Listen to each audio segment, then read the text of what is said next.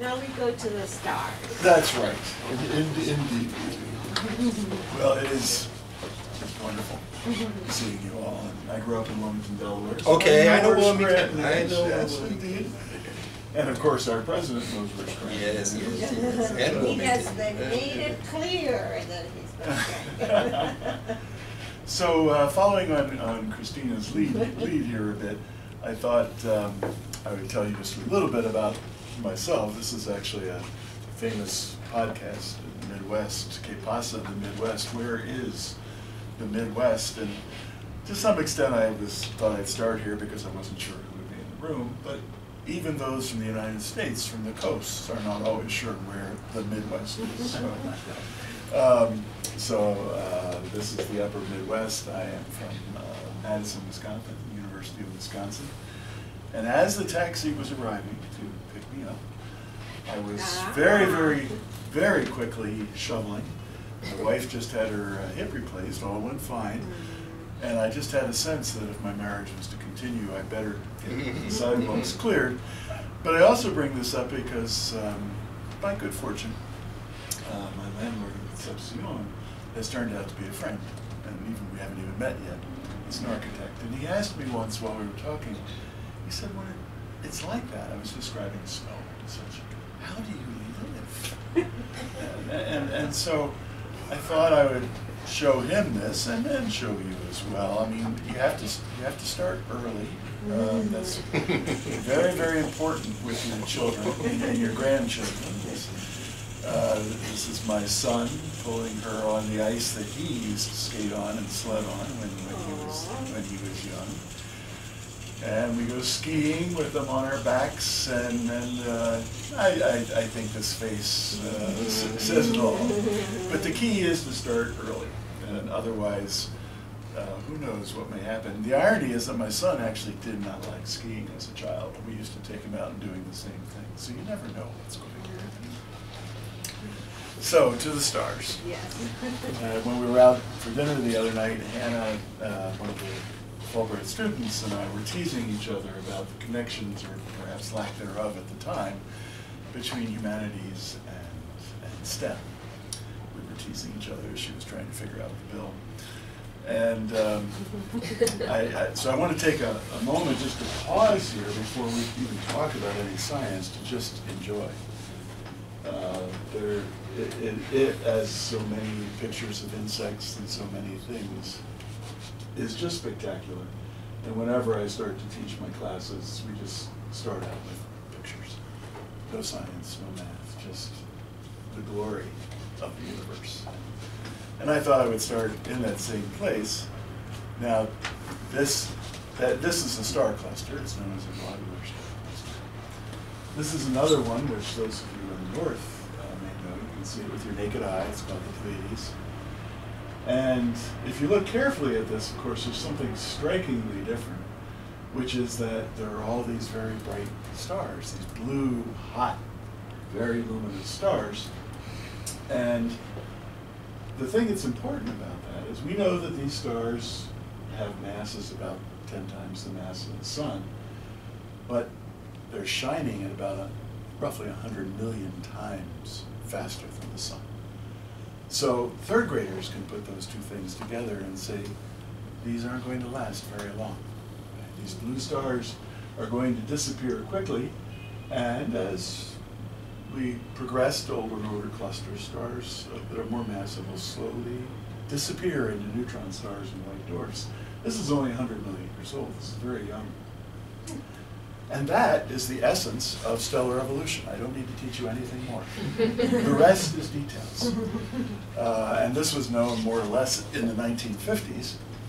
And of course, again, just showing you here, this is dramatically different. There aren't those bright blue stars, lots of red giants, lots of beautiful red giants. And, but, but, you've probably noticed that there are stars here. Someone else used this phrase earlier today. Stars that shouldn't be there. There's that blue star right there, which I just told you should be gone. And in fact, if you look carefully, there are blue stars scattered all throughout here.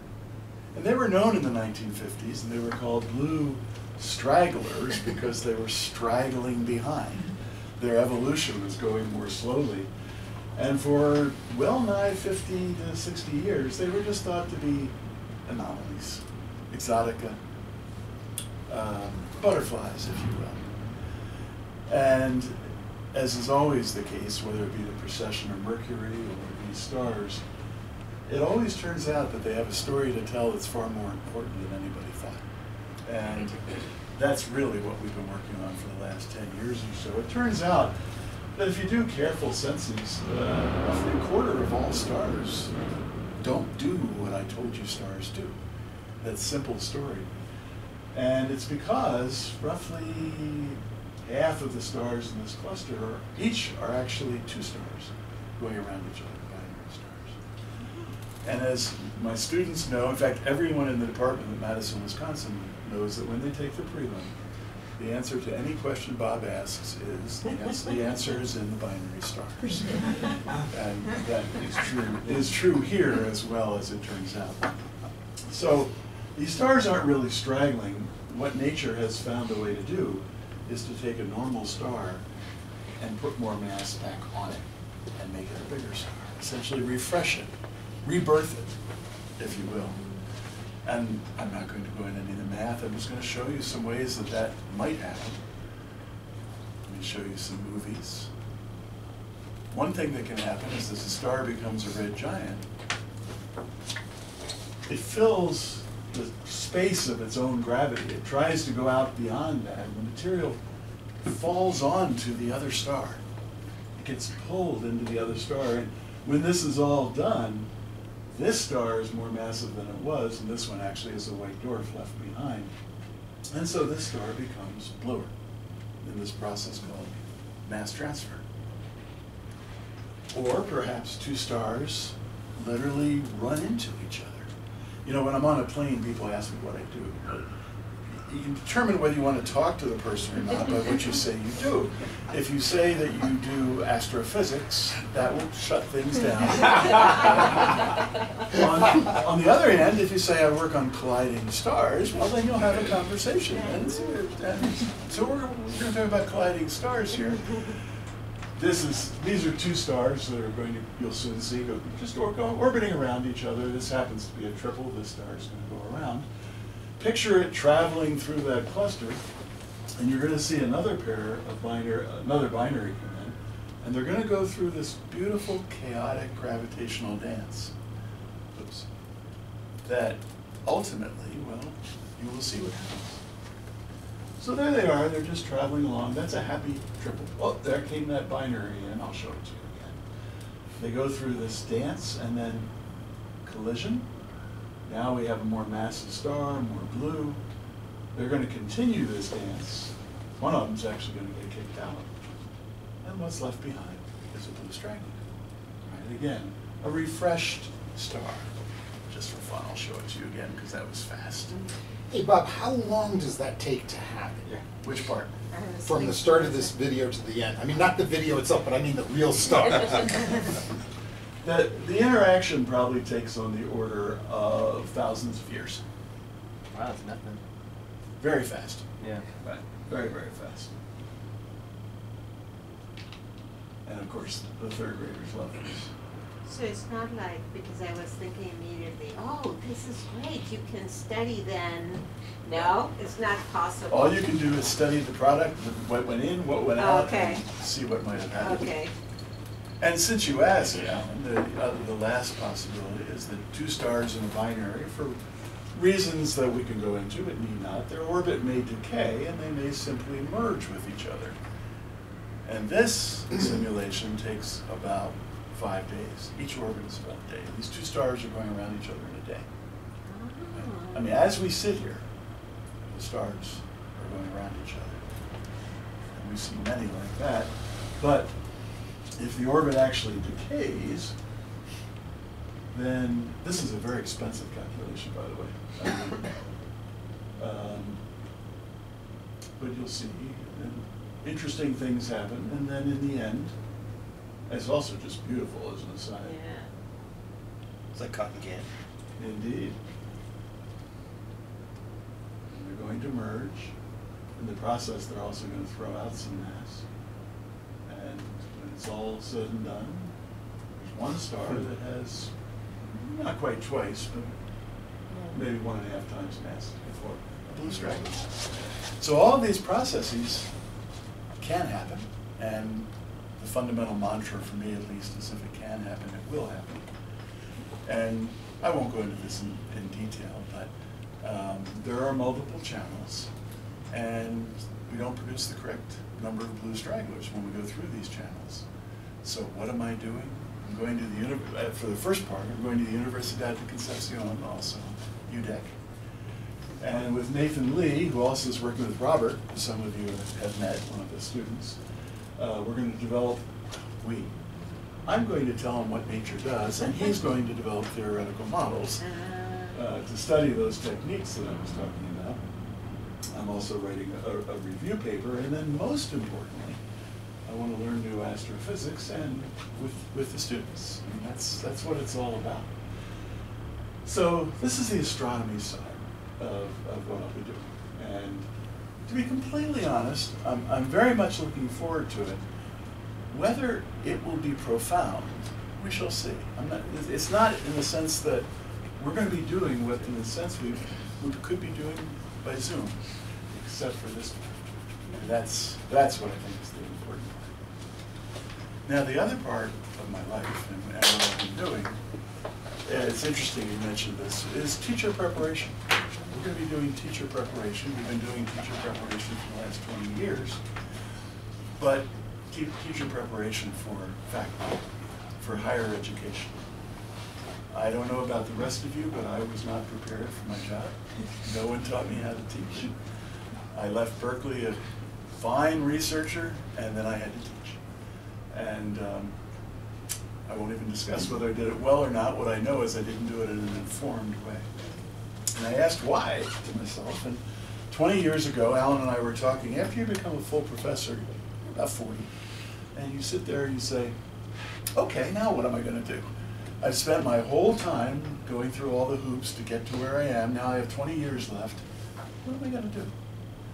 And for me, the answer was, I love astronomy, and I've been doing it for the last 20 years, but I also wanted to do something that was more significant for this world right now. And uh, improving undergraduate education is what I decided to really uh, do. And when I sat back and said, well, how am I going to do that? It, it turns out we know how to improve learning. And you described some ways. Active learning, engaged learning is how it works. There's, the National Science Foundation has invested 30 years of money into figuring out how to ensure STEM education works better. And the biggest problem is that faculty don't use it. Faculty still lecture. Faculty still do things classically as they always have. Despite all of the research that we cherish as our fundamental being that says students don't learn well that way.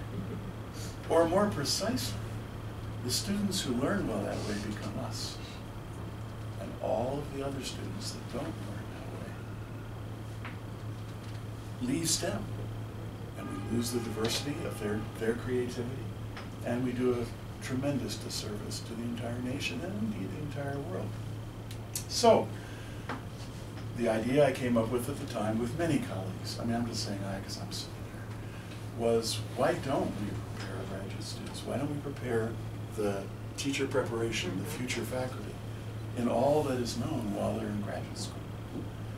And so we created a, a center, and this is a mouthful, right? To develop national STEM faculties committed to implementing and advancing, this is crucial, effective teaching practices for diverse student audiences as part of their professional careers. All right, that's a mouthful. What we really do, preparing graduate students and postdocs for careers that integrate the forefront research that we already know how to teach in the graduate school with superb teaching and learning. We're doing teacher preparation. We're doing, uh, no say. Um, and the strategic idea, and this is what I'm not sure about whether it will be true in Chile. In the United States, 80% of the PhDs are produced in about 100 research universities. Now, that may seem like a lot, but there's four thousand institutions of higher education. If you can get to them here, not only are they young, not only are they blank slates, not blank, because after all, they've, they've been students for twenty years, but are they, they don't have yellowed notes yet, let's put it that way. If you can get to them here, then they fill the entire system with new teachers who do know how to teach. That's the essential strategic idea. Eighty percent of the PhDs at only hundred research universities, that's a forty to one leverage. That was the essential idea twenty years ago. Um, And the question is, especially for those of us that are research universities, out of all of this landscape, this is probably the one place where teaching is not necessarily the top priority. Mhm. So how do you change the culture? And we had three principles that we ran with. And by the way, this is all gonna sound like it was just obvious and worked. I can't tell you how many things didn't work. right? But this idea of teaching is research, this idea that teaching well is as dynamic and as advancing an activity as your research is. It's not something where you're just trained how to do it and that's it it's not a it's it's not a training process. It's learning how to apply your way of thinking in your research, your disciplinary research, to your classroom. Something we call teaching as research. This has a huge cultural advantage because when I go into the, say, mechanical engineering, engineering department, if I talk to them about good teaching, if I talk to them about scholarship of teaching and learning, if I talk to them, please over if I talk to them about research and how you can use your skills to improve your teaching, if I challenge them, it's a whole different perspective that aligns with research universities, with the culture of the university. Just to give an example of how that plays, this happens to be, Matt is in material science, this is about five years ago. Matt created, he did a teaching as research project, we call it. Uh, he created fuel cells, he analyzed them using, you know, his skills in material science. I love this line he wrote, although the assessment of the first implementation proved to be somewhat inconclusive. Research, right? It didn't work, is what he's saying. And, you know, we are so arrogant, especially as scientists. I love what you said. As scientists, that we figure teaching is easy Yeah. right? Anybody can do this. No, actually, it's really hard to teach well and to have learning happen. And so then he redid it, and by chance, he published. We're not really worried about whether they publish. We want them to become faculty who use this way of thinking in their classrooms. The second principle is learning community, which I don't need necessarily talk to people here about.